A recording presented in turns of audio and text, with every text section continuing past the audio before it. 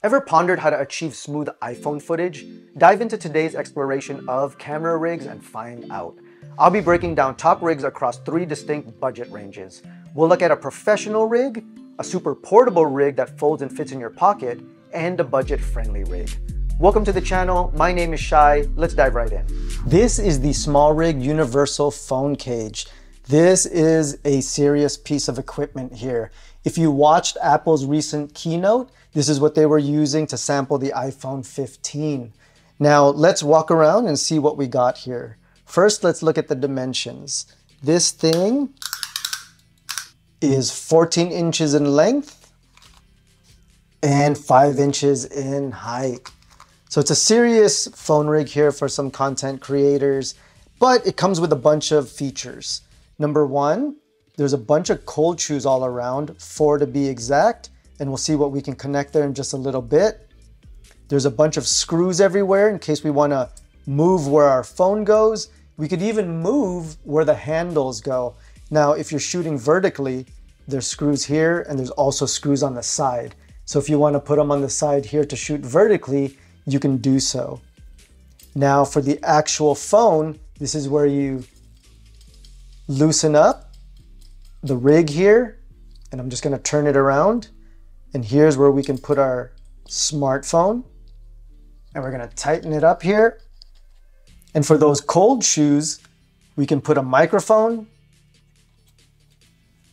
I have one of my favorite lights, my Lume Cube. So this is how the full setup would be using those cold shoes. And again, you can use it horizontally or depending on how you put all the screws in, you could also shoot vertically. Now it is a little bit heavy, about 600 grams, but I wouldn't say is heavier than say your a7 IV with a cage or your other big cameras. Let's look at it from the front here. Now the cool thing as well is if you're shooting on an iPhone 15, it does come with these little straps here. And so as we all know, if you're shooting directly and externally to a drive, you can just strap this in, tie that there so that the hard drive doesn't come off, and then you can just connect it here USB-C to USB-C. So a serious rig for some content creators. And one last accessory I'll show you that you can also add on here is a small Manfrotto tripod. Because let's say you're shooting and your hands get tired, you don't want to just lay this down anywhere. So if you got that little mini tripod, you might be breaking for lunch, you can just stand that up and take a little break. So overall, just a serious rig for some serious shooters, especially once you got everything connected here. Not something that you can necessarily say is compact. You might need a big bag to store everything in. But if you wanted something more compact, SmallRig does offer something super cool and smaller, and we're gonna look at that next. So I like to use something like this when I really wanna get a stable shot. I might be in action mode and chasing someone down and trying to get that really cool type of running shot. This, I have my two handles. This rig is stable, holds the fold in nice and tight. And so this gives me such a great shot. And when you're tired, because your forearms are, you know, going to work, you can use this Manfrotto tripod literally just put it down when you're on a break. So this is one of my favorites for getting stable shots. So this is my favorite find of the month, the SmallRig P20 Foldable Universal Cage. First, let's see how long it actually is when it's folded. It's seven inches, so perfect because it's something that can fit in your pocket. However, if you fold it out, let's see how big it is. A little over 12 inches. So the cool thing about this is that it has two cold shoes and it's super light. It only weighs 189 grams. So let's go ahead and put our phone and a few accessories on here.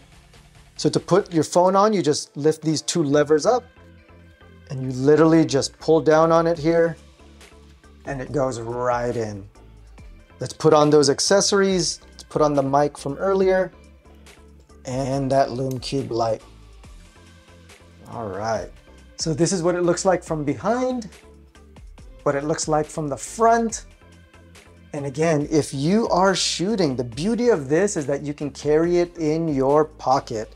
Now, it's not as stable as the previous rig that I just reviewed, but in a pinch, or just if you're someone who shoots a lot and you carry this around in your backpack or your back pocket, it's nice to know that you have a little extra stability and you have a full-fledged phone rig right on you. So SmallRig P20 foldable phone rig, my favorite find of the month.